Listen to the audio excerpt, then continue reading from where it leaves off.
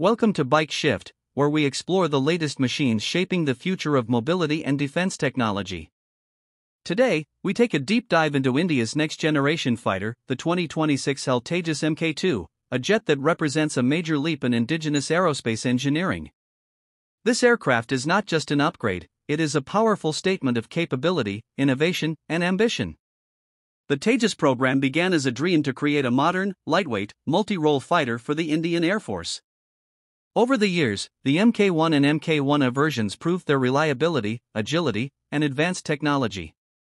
But the demand for a more powerful, more capable fighter pushed development toward the Tejas Mk2. By 2026, this aircraft emerges as a fully transformed jet, ready to take on missions far beyond the scope of its predecessors.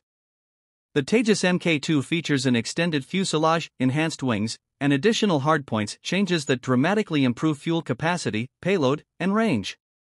Its aerodynamic redesign gives it superior high speed performance and stability, especially in extreme combat situations.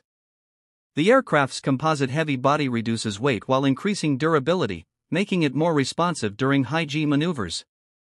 At the heart of the Tejas Mk2 lies the powerful GE F414 engine, a major upgrade that provides nearly 98 knots of thrust.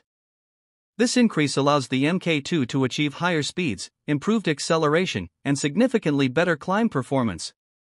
The enhanced power ensures the fighter can operate confidently in both air to air and air to ground roles, making it ideal for multi mission deployment in a single sortie.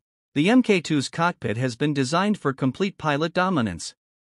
A new wide area display, updated flight control systems, and advanced sensor fusion give the pilot unmatched situational awareness. Modern radar technology, including the Uttam AESA radar, allows the aircraft to detect, track, and engage multiple targets at long distances with extremely high accuracy. The 2026 Tejas Mk2 carries a larger and more diverse weapon load than previous versions. With 11 hardpoints, it supports a full range of missiles, precision guided bombs, anti ship weapons, and extended range air to air missiles. The aircraft's ability to utilize both Indian made and international weapons makes it flexible and mission ready for any operational requirement.